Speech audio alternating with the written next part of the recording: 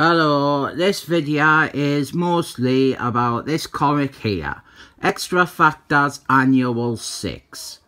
It's the final part of this Excellent Men crossover called King of Queens and I thought I would show all the covers side by side like I promised. As you can see there is a sequential thing going on with the two central characters, the Villains. We have got Arnis and Kevin James. Arnis, she is absorbing energy as it goes along. And Kevin James, he is getting fatter and fatter. The other thing is the characters in the background change with every cover to reflect that book's stars. So here we have got Excellent Force. This is the New Warriors. This is the excellent men, but it's also not the excellent men. It's kind of like the reserve team, the substitute team. And finally, we have got extra factors, and we'll be talking more about that later on. All these covers, they are by Michael Hellboy, except this new Warriors one. This is by Michael Hellboy, but the new Warriors in the background are actually drawn by that book's regular artist, Mark Bagels. And I think that actually ruins this progression thing. It makes this one look a little bit out of place. The new Warriors, they're, they're not in the same style as Excellent Force or the Excellent Men. Simple concept though, and I think it, it worked out okay. I would say of these covers, Extra Factors is probably the image that works the best alone. I think this is a really good cover, independent of the whole collection. Uh, this is Extra Factors, and Extra Factors were the original Excellent Men, and it seems weird because the Excellent Men issue that had a bunch of characters who would later become Extra Factors, like Multiplication Man and Miss Magnets and Squealy's daughter. But here we have got Extra Factors and its characters that you would think of as Excellent Men. We open up and we have got a really nice shot of some of the large cast of characters here and Interestingly, none of the book's stars are on this image. The Excellent Men, and I'm just going to call them that because Cyclist is leading them. This is very much the Excellent Men for me. They are travelling to Scotland because they have found out about the rebirth of Proton VPN. He is one of the Excellent Men's most powerful villains ever. We've got a little great bit down here acknowledging the shared universe. We've got Captain America. He offers the Avengers to come and help out. Then we have got Redman. He is offering up the Russian superheroes. And Captain Britain. He has got Excalibur ready. Honestly though, I'm, I'm surprised Excalibur were not included in this crossover since they are based over here and they could easily just get on a bus to Scotland. Uh, they didn't have an annual that year and I suppose it would just make the cast even bigger. So the excellent men, they try to land but Proton VPN, he destroys their jet. Uh, this bit here though, this bit, actually helps get across the threat of Proton VPN tremendously. Cyclist, Egans, it is him. It has to be. He is just playing with us. He could destroy us with a thought.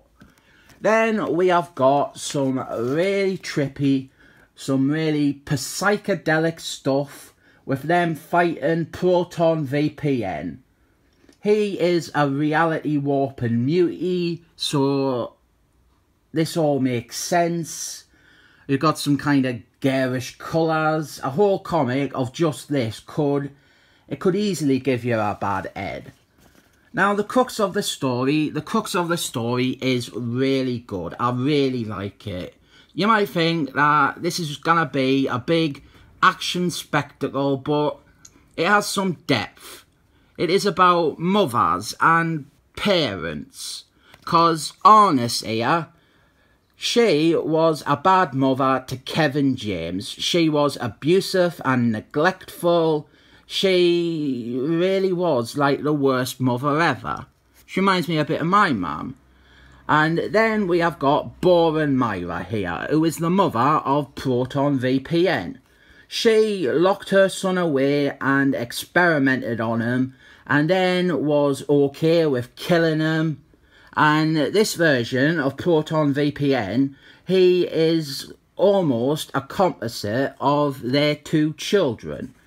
And this idea expands to include other characters in the cast who are parents, like cyclists, or who have interesting relationships with their parents. So here we see how useless fighting against Proton VPN is. Here uses his reality warping powers to change Wingman's wings into not wings and Cyclist, he shoots his eye beams, but well, they're no good. He uses his powers to just make them not day out. The closest they get to a victory is Snowman here. And this is Snowman before he was transformed into an offensive gay stereotype. Snowman manages to freeze him, but it doesn't work out and Proton VPN, he drowns Snowman in himself or something it's trippy. And we've got the stupid whore here who I hate. She is useless, as she always is. She's probably thinking about shagging Proton VPN anyway. At this point, the colours do start to hurt your head, but we're done with them after this two-page bit. The Smurf, the Smurf, he tries to attack Proton VPN with some gauntlets because Proton VPN, he is allergic to metal. That is how they beat him last time. Uh, probably because Christopher Clairvoyant had seen that in a film the same week that he created Proton VPN. But this new version of Proton VPN isn't weak to it anymore. It's like it's had an upgrade. Meanwhile, Aya is the evil terrorists who wanted to recreate Proton VPN for themselves. Uh, unfortunately, Proton VPN is too mental for them to use. And here is some more of these ingenious chess metaphors that they have milked so hard that the tea is dry. Honestly, I would just skip these chess bits. They're, they're just an embarrassing distraction. And here we have got all the other heroes, all the other characters from this story. The Excellent Men, they find them and I love, I just really love this big cast shot here. Really good image. Proton VPN, he has sent all his opponents away to some sideways dimension and we start getting the customary recap of the crossover so far and they start planning what to do to stop Proton VPN. First up, we have got the whore and legend, Daniel Stevens off the telly. They combine their telepathic powers to bring everyone up to speed and know everything that is going on. And Legend, he starts to sing This is a Walrus by the popular musical group The Beatles they realised that Proton VPN, he was happier being dead and he's upset that they have brought him back to life. So Cyclist, because he is the best excellent man and he is the master strategist, he comes up with the plan of how to deal with Proton VPN. They're gonna have to try and talk Proton VPN into committing suicide, which is, in my opinion, a really dodgy plotline and could easily be a disaster, but the writer, Fabio Nicieza, he manages to do it adeptly. but first, obviously, Proton VPN is concerned with dealing with the two abusive and neglectful mothers. Uh, all the heroes, they are debating the ethics of trying to get a vulnerable child into killing himself. I think this discussion helps. It shows that Fabio Nicieza is aware and while it is the course of action that they pursue, he raises how it isn't heroic. And one of the most interesting things is, well, there's a common belief that the idea that Cables here was Cyclist's son, people think that it wasn't ever intended. It wasn't planned and it was just like an idea that they decided halfway into a story. Uh, I think that it is probably true that Robert Liefeld never planned Cables as Cyclist's son, but this crossover has a few blatant clues that Fabio Nicieza was always thinking that. Uh, for starters, in this New Warriors issue, Cables, he offers up an alias. Uh, his alias is Winters, which is an obvious little hint of his true surname, Summoners. And here, Cables, who has been up to this point a cold, stone-faced grump, he is he's really against the idea of sacrificing Proton VPN. This is obviously because it mirrors his own life. When his father, Cyclist, who is proposing this plan, Cyclist did the exact same thing to him, sacrificed him for the greater good. This is just really, really clever foreshadowing. Rather than just go ahead, Cyclist, he acknowledges the ethical dispute and he presents both he presents both options to Proton VPN. I like this, I like this because even though Cyclist has proposed it as a solution, he is insisting it is like the last resort. Uh, and here you can see again cables and cyclists arguing and this is just really smart. Uh, if I had one major criticism of this story though, it misses two other enormous parallels to draw from. First, we have got legend here, Daniel Stevens. His own life mirrors Proton VPN and Kevin James's enormously. He was locked away by Boren Myra MacDonald because his powers couldn't be controlled.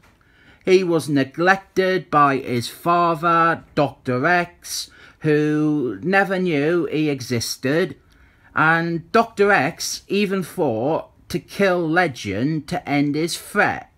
And after that, when everything was resolved and Dr. X had met his son, well, Dr. X, he left Earth and didn't seem to make any effort to maintain a presence in his son's life. And on top of everything, of all these characters, Legend, he has power level that means that he could actually just fight Proton VPN. Uh, secondly, not a great page for him. I think he's on this next one. Secondly, we have got Major Victory here, whose father physically abused him and continued to be abusive towards him because uh, he was unhappy with his son being a mutie. Uh, this will eventually build to a big plot line in issues of the New Warriors, but in this story, it seems both Major Victory and Legend, they would have they would have more to say on this matter or more to offer to the debate than just being in the background of the ethical debate. Uh, the two mothers, though, the two mothers, they also pleading with Proton VPN. We've got Boren Myra trying to encourage him to kill himself, and Arnis here just just trying to abuse him some more, calling him a freak stuff, and then Cannonballs just twats her in the face. Uh, but I really feel, I really feel that Proton VPN should, he should have fucking horrifically killed Arnis. But he doesn't. He instead agrees he was happier dead and just opts to end his own existence. And Cables, Cables is furious about this. Cables is really cross. Uh, I can't stress how clever this all is. This little hint. Cables. Uh, Cables wouldn't actually be revealed as Cyclist's son for another two years. And Fabio Nicieza, he was already on the setting it up, planting seeds. Then we have got the terrorists. They agree it was all a disaster, and terrifyingly, we discover that Arnis has another child that they can use to try and recreate this whole project again. Uh, it never happens, and Arnis never appears again, and uh, she simply doesn't get her comeuppance in this story. She was a terrible mother, and a terrible person and the story needed her to suffer. And finally, some more chess metaphors. Backup story time. This is the evil brotherhood of evil mutants of evil and their crazy adventures in the Middle East. Most of them have incurred critical injuries like uh, G.I. Joe he is somehow still alive despite losing an arm and being horrifically incinerated. Uh, then we have got this bit here with G.I. Joe that is probably the best part of this whole Brotherhood storyline. G.I. Joe, he is, I mean, look at him, he is barely alive. And he begs Avocado to help him, to help help him escape, to not leave him for death. And we've just got these silent panels here as Avocado thinks about it. And then Avocado, he grabs his fallen comrade and helps him. Nice character moment, but unfortunately it requires you to ignore the fact that Avocado had his stomach sliced open in part one and then he was caught in the same explosion as G.I. Joe in part 2. Uh, we end with Tom Beaver and Fireman Sam. They end up getting left behind because uh, they can't get them out of the hot zone and they just surrender to the terrorists or the authorities or whatever. Uh, I don't know if this plotline is ever actually resolved. I think I think they might just show up again and there's no mention of them being captives of the Middle East. Uh, the one thing you've all been wondering, no doubt, is, well, we've had all the evil brotherhood of evil mutants of evil accounted for in this story, except for Mistake, the Smurf woman. Well, here is a backup story all about her. This is where she was. This is all about her mourning the death of Irene from Sherlock Holmes, who was killed by Daniel Stevens in that Rayval story. Uh, I do really like that for this King of Queens crossover, they worked out where all these characters were in correlation with the main event and this does this does a better job of adding depth and exploring mistakes character than anything that Christopher Caravaggio ever wrote. And it ends with her spreading Irene's ashes. Uh, this is a really good conclusion to the King of Queens storyline. I like that it tackles a tricky subject with the suicide stuff, but it does it well.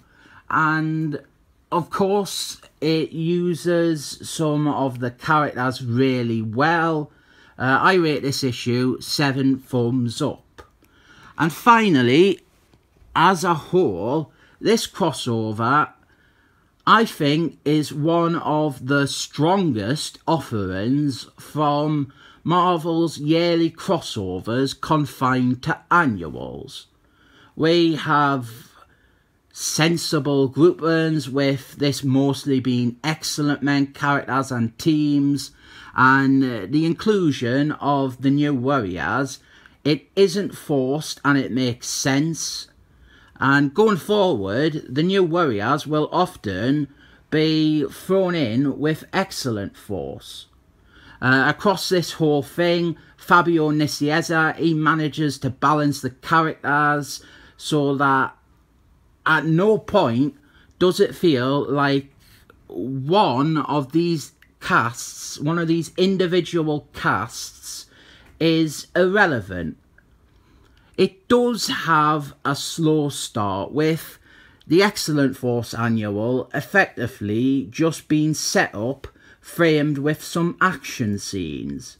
And a lot of the New Warriors issue is devoted to Excellent Force and the New Warriors fighting, but they are both still enjoyable reads. The highlights would be these two final parts. Uh, this one featuring some unlikely characters and giving them a part in this crossover, and this final part for resolving the story naturally and tackling the whole assisted suicide idea with some serious consideration. All in all, I think this is a very readable crossover and while there are little nitpicks or oversights along the way, I think from beginning to end it is a solid read. I rate the King of Queens crossover 7 thumbs up.